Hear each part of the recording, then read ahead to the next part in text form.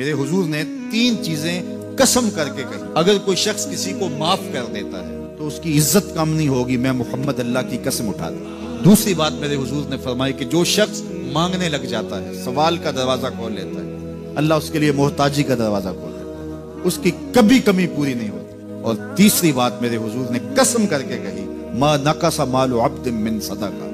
कहा मैं अल्लाह की कसम उठा के कहता हूँ कि सदके से माल कम नहीं होता